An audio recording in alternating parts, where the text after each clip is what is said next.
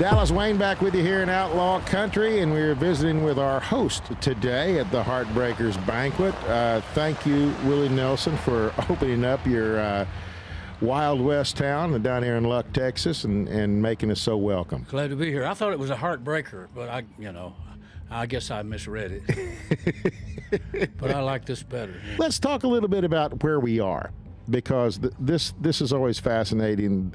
Give fill the folks in on the history of Luck. Well, you're in Luck, Texas. You're in Luck right off. I felt it the moment I pulled up. This is a town that we built to do a movie called The Red-Headed Stranger many years ago. Mm-hmm. And we've kind of used it for different things. Video. The church is still on operation, and they have services there all the time, every Sunday. And this place is kind of like my hangout, my headquarters. Yeah.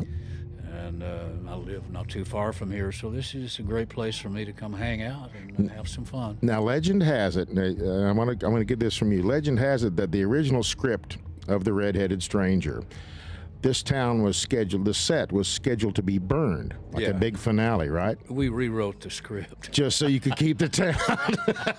I couldn't figure out how that could be a good idea. Being Willie Nelson is a good thing.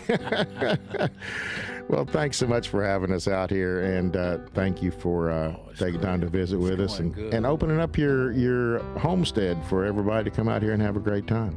It has the whole vibe of the county fair thing out I there. think so. Yeah, I it- think just so. people It's walking chilly around. out there, but people are hanging in there. You know. Well, thanks again, once again, Willie, Good for being with us today. Visiting with Willie Nelson here.